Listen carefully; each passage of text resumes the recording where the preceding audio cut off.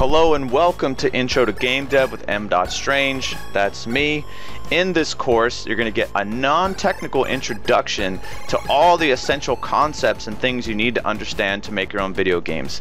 And this is stuff I haven't found covered in other tutorials I've seen out there, but you need to know this stuff to make your games. And once you understand this stuff, then you can go learn the technical things and start making your games. So let's get into this and get you making games. So when you first uh, get into video games and you have these characters like this in your world, it's just like this is what they're asking you. Who am I? What am I? You know, you put these models in your set in your level. Now, how do they know who they are and what they can do? How does that stuff happen?